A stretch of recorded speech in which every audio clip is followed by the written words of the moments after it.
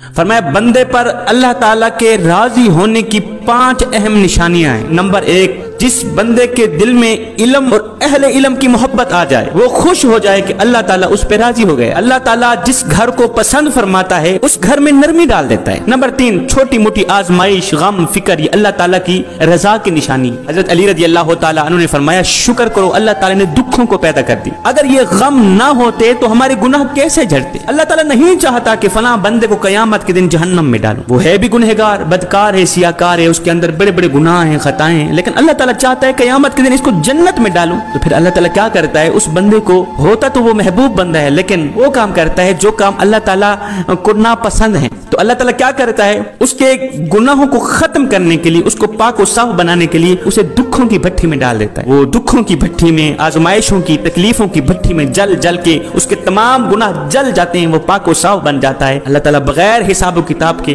उसे जन्नत अता कर देते नंबर चार, अगर आपको कोई पसंद करे या ना करे, आपके दिल में अगर मोमिन के लिए खैर खाही आ जाए, आपके दिल में किसी मुसलमान भाई के लिए खैर खाही आ जाए तो पक्का यकीन कर लेना, खुश हो जाना, अल्लाह ताला तुम पे राज़ी हो गए नंबर पाँच, अगर तुम्हें दिन में पाँच वक्त की नमाज़ बा जमात अदा करने का मौका मिलता है और आप अदा करते हैं, बा खुशी करते हैं, फ़र्ज़ समझ कर करते हैं तो खुश हो जाइएगा, अल्लाह ताला तुम पे राज़ी होगा